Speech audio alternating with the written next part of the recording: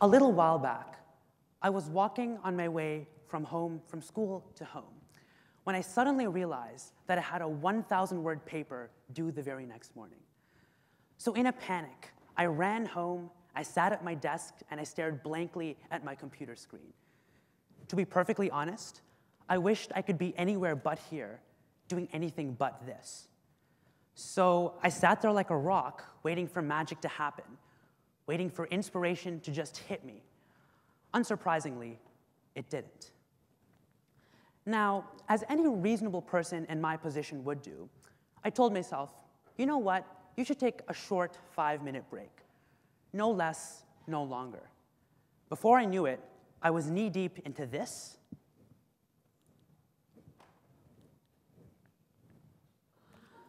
And a whole lot of this.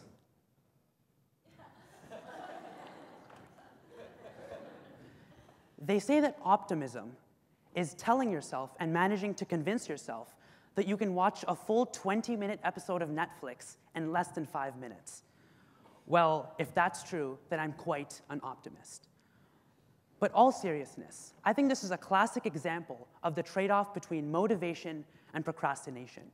And it goes a little bit like this you keep procrastinating and procrastinating until one day something gives. Maybe you pull one too many all nighters, and then you suddenly realize that you just can't afford to keep putting your work off to the last minute.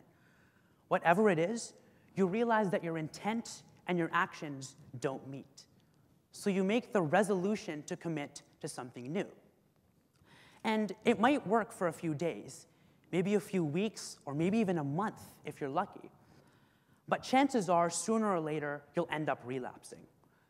And then the all too familiar feelings of guilt, anxiety, self loathing will set in. And what do you do? You go back to your resolution. And so the process repeats and it repeats. You're basically like Tarzan, swinging from vine to vine, from the person you used to be and the person you want to be. So, why is it so hard to stay resolute on a resolution? Well, there's a simple answer and a not so simple answer. So, I'll start with a simpler answer. Simply put, motivation is finite. So when, you're say, when you set your goals way too high, oftentimes you run out of motivation too quickly. So I'll start with a personal example. If I told myself that I wanted to wake up every morning at 4 a.m. and exercise for 45 minutes every day, I might wake up bushy eyed every morning for two days. But two weeks later, we know that that motivation will be replaced by, eh, I'll do it later. What's the problem here? I set my sights too high. What you really need to do is tell yourself, you know what, I'll wake up at 5 and I'll exercise for 10 minutes every day.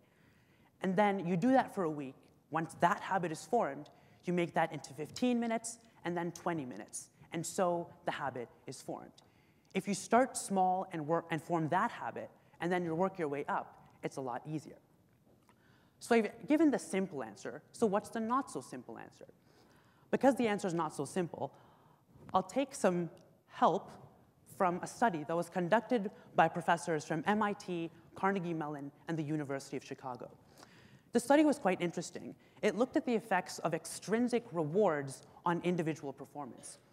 What they found was that people completed tasks the best when they did them for their own sake, when they did them because they enjoyed them, not because they wanted an extrinsic reward.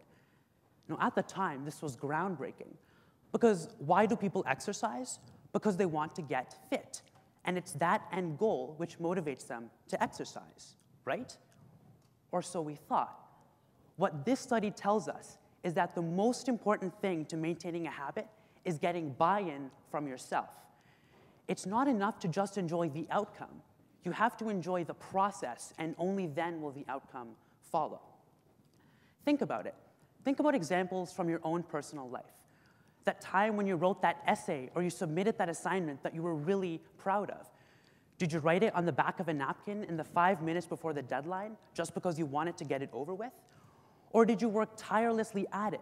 Did you work so hard that you didn't even notice the time going by? That is what motivation is. When you're so emotionally invested in the process that the outcome ceases to become important. If you look at people who are truly motivated, they don't need to force themselves out of bed every morning to do work. They just work, and it just comes to them. But you might be asking, sure, it may come to certain people, but what if I'm not one of those people? Well, here's the thing, right? Motivation is a skill. And like any skill, it can be taught and it can be learned. What this study told us is that the key secret to motivation is changing a little thing about the task or assignment that you're given so that it becomes a little less tiresome and a little bit more enjoyable. Here are a few examples. If you want to exercise, skip the treadmill. Maybe go outside for a run, and that'll make it a little less hard for you to exercise every morning. If you want to get that homework or that assignment done on time, don't lock yourself in a room and do it alone at a desk. Maybe find a group of friends and do it with them. Or do, it, do your homework in a different location so that your work is a little bit less monotonous. And look, I don't profess to be a master of the art of self motivation. I, like any other person, watch my fair share of cat videos, and I'm still trying to find the perfect balance. But what's the message here?